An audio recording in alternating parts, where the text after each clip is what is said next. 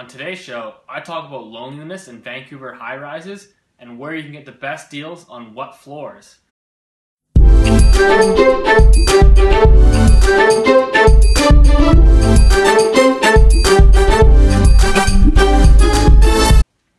So it's no secret the supply of land in Vancouver is extremely limited.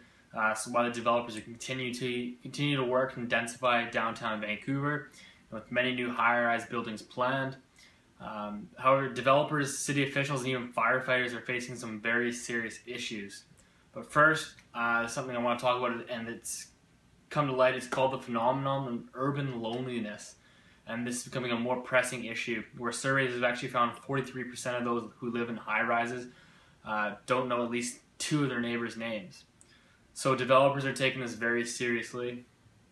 Uh, what they're actually doing is they're proposing these these cool uh, things called sky gardens, which are basically common areas like a green space on each floor, uh, where neighbors go out, they enjoy some fresh air, they socialize with their neighbors, and you know this is all to kind of get to know each other and get out of the so-called loneliness. But um, at the same time, they're also suggesting to make this plausible. They're suggesting getting getting rid of people's private patios.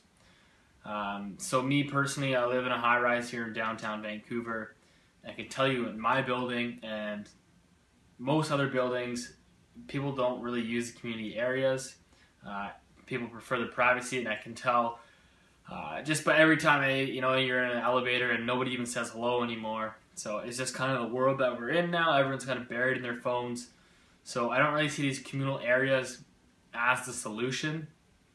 Uh, I think when you're talking about taking away people's private patios, when when someone has a 600 square foot unit on the 30th floor with no patio, I think that's that's going to make a lot of people feel trapped, stuffy, claustrophobic, especially in the claustrophobic, especially in the summer. Like that's going to be unbearable. So. Um, another issue that these Vancouver high rises are facing is there's certain safety issues. Uh, developers in the city are facing cultural challenges uh, where the developers are actually they've gone and they're renumbering towers, so they're taking away the number four, the number thirteen, to you know to help out the Chinese buyers because number four means death. So they're playing into all these um, you know these cultural barriers, but it's actually becoming a safety issue with firefighters uh, not being able to properly number the floors.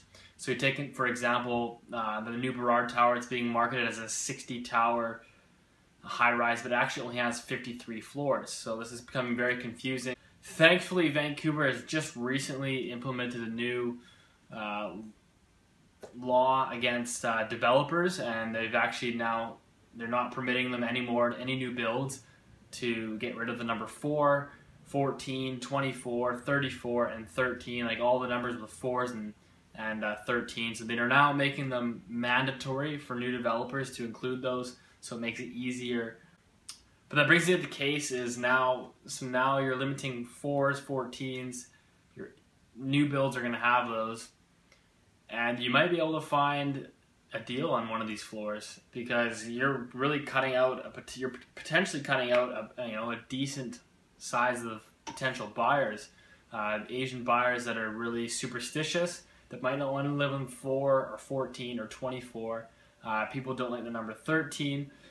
So, I mean, if you're okay with living on one of those floors, I see this as potentially, uh, you know, a money saver because, you know, less competition, less buyers uh, could mean some savings to the person that's willing to live on those floors.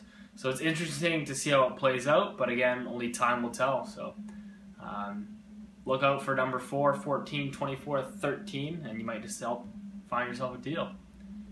Anyways, thanks for tuning in. See you next week.